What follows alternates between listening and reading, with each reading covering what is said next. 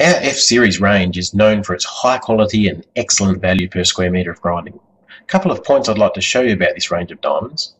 The diamond itself is a very special shape that has been optimised for performance and cooling and evenness of wear.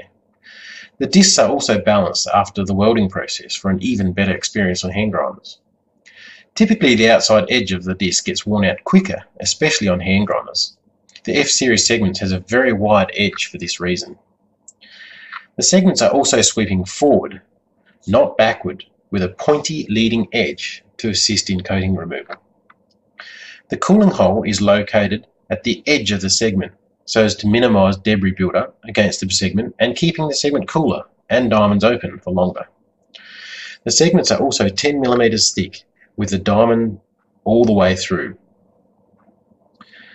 some manufacturers make diamond tooling cheaper by decreasing the diamond density in the segment.